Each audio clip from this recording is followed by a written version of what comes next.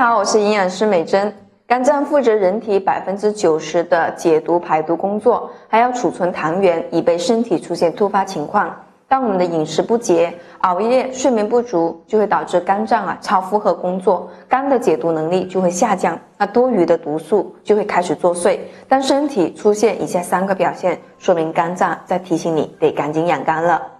表现一：口干、口苦、口臭。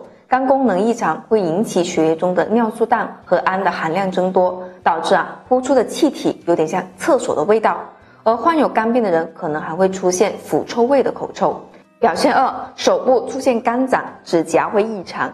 肝掌呢是手掌皮肤出现片状的充血斑块，按压后会变成苍白色的表现，这是肝功能减退的一种标志。而指甲表面也会出现竖纹、坑坑洼洼、白斑点、容易断裂等情况。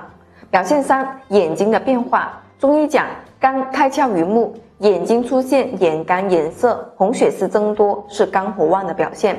俗话说啊，养肝就是养命。日常养护肝脏一定要注意补充足够的水分，因为身体的新陈代谢离不开水的参与。也可以在喝水的时候呢，泡点养肝清肝排毒的食材。今天美珍和大家分享一个有助养肝降肝火的决明子菊花茶。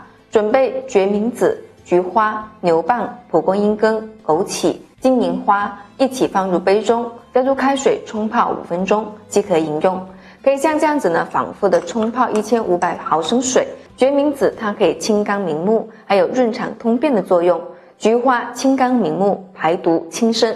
在《名医别录》中就说过，牛蒡久服轻身耐老，可以防止毒素在人体中堆积。而蒲公英中的活性成分可以修复损伤的肝细胞，对喝酒后造成的肝损伤有很好的调理及保护作用。再配合上。滋补肝肾、益精明目的枸杞和清热解毒、消肿散结的金银花，能将养肝清肝排毒的作用更好的发挥出来，有助排肝毒、降肝火、调理身体的内环境，相当于啊给我们的五脏六腑洗个澡，找回干净清爽的状态，改善因肝火旺而引起的口干、口臭、口苦、牙龈肿痛、耳鸣、失眠多梦等这些问题。需要注意的是呢，我们这个茶方啊，它是比较寒凉的，体质虚寒的朋友就不建议饮用了。好了，今天的养生保养方法就给大家分享到这里。关注美珍，为您答疑解惑，分享适合您的食疗茶方。